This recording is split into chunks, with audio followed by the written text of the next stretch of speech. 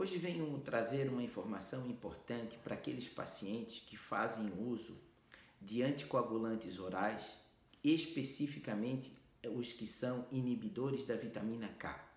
O mais conhecido deles é a varfarina.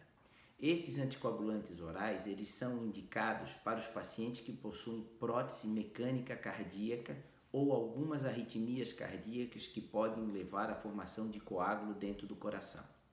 É muito importante fundamental um controle periódico do valor dessa anticoagulação que o, que o paciente apresenta no sangue. Esse exame se chama TAP e uma das frações desse TAP se chama RNI. Para os portadores de prótese cardíaca, esse RNI deve estar entre 2,5 a 3,5. O que, que isso significa? 2,5 a 3,5 é a faixa terapêutica é a faixa adequada do anticoagulante no sangue. Se tiver menos que 2,5, é, quer dizer que tem pouco anticoagulante e há o risco de trombose. Se tiver mais do que 3,5, isso quer dizer que tem anticoagulante em excesso e há o risco de hemorragia.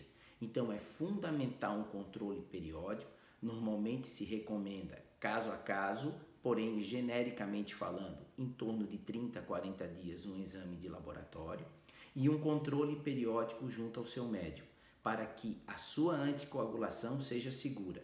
Pode-se viver tranquilamente tomando anticoagulante, mas depende muito do paciente ter a obrigação de fazer esse controle periódico para a sua segurança e para a sua saúde.